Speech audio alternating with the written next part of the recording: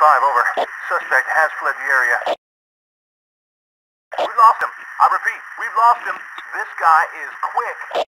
Police are still searching for an unidentified biker suspected of trespassing in hazardous areas.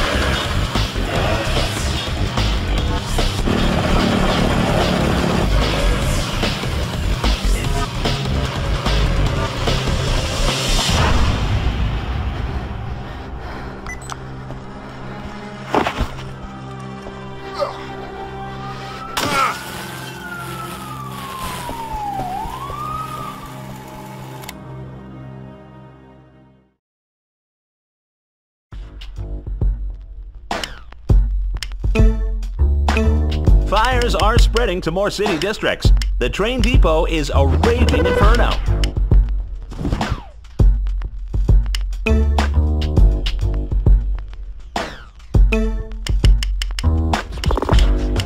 Reports of more bad weather ahead. Hurricane strikes seem to be inevitable.